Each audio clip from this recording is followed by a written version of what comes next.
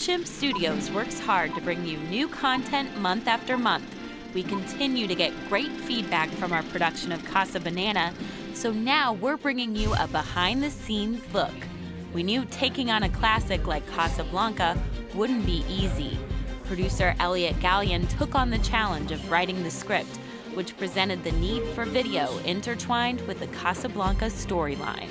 True to Fat Chimp style, our shoot quickly turned into a full scale production on a budget, complete with a jib, three locations, and extras. Finding the lead actors was the easy part. Cheers.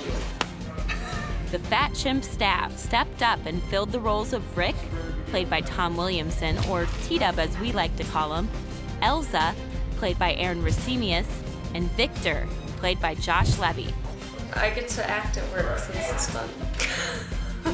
We weren't surprised to see the Fat Chimp employees settle into their roles in front of the camera. And in all the towns in all the world, this one happened to be on my dresser. Standards were high from the get go. But once shooting got underway, the story came together. Very nice. Very nice.